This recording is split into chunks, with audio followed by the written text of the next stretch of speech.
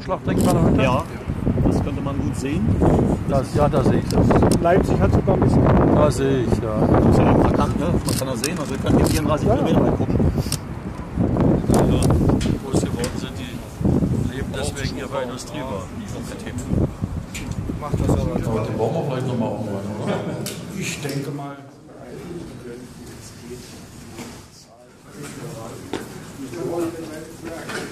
Waren Sie damals Weihnachten mit dabei? Und dazu brauchen wir junge Leute, die bereit sind, Ausbildungsverträge zu unterschreiben und entsprechend auch dafür sorgen, dass der Schichtbetrieb hier voll weitergeht. Wir haben auch junge Damen, kommen wir alle mit nach vorne hier, die Damen aus dem Betriebsrat. Wir sind übrigens, kann man dazu sagen, ich habe mir das gerade sagen lassen, in ganz Deutschland und auch innerhalb des Konzerns gibt es nur hier einen Skobau, ähm, Damen, die die Schichten voll mit durchziehen. Ja, also die sich also hier voll im Schichtbetrieb mit integriert sehen, beziehungsweise die steuernden Elemente sind, ja, wie überall, die Frauen, ja, fängt ja bei der Kanzlerin an und geht bis nach Brüssel in die Europäische Union. Ja, das ist also in den äh, westdeutschen Kraftwerken völlig unüblich. Wie nennt sich das, die, die Schiene da, also die man dann runternimmt, also wo man dann so rüberzieht? Äh, Trennschalter.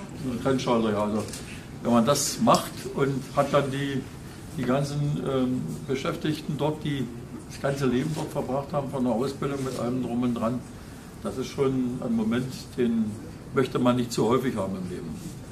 Und deswegen sollten wir den so weit wie möglich auch rausschieben hier, damit wir auch die Alternativen für die Beschäftigten haben. Denn da war es so, ist nur ein kleiner Teil aufgefangen worden. Die meisten sind in Vorruhestand oder erstmal in die Arbeitslosigkeit, bin auch flankiert eine Zeit lang gegangen und äh, das muss man schon sagen, das war schon ein Drama. Wie wir waren damals der Rote beschäftigt, das waren ja, ja also, ja, was glaube ich, 2000 oder hat man da, ja. 2000 Leute. Wie viel sind wir jetzt hier im Kraftwerk? 150. Ja, okay, also wir hatten da alleine in Fockerode bestimmt das, das Fünffache. Hat EBH noch eine Botschaft?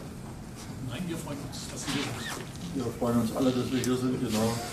Und das immer noch im Netz ist. Genau, Ja. absolut noch Wenn er im Netz bleibt und ansonsten ist Kohlestrom wie jeder Strom, besteht aus Elektronen, die fließen, haben also keine Farbe, sondern sind entweder da oder nicht da. Wenn sie nicht da sind, ist es kalt, im Dunkeln. Und das können wir alle nicht wollen. Gut, dann danke ich schön und mache noch mein Statement. Grüßen Sie die Schichtkollegen, du kommst noch mit. Schönen Dank für die Einladung.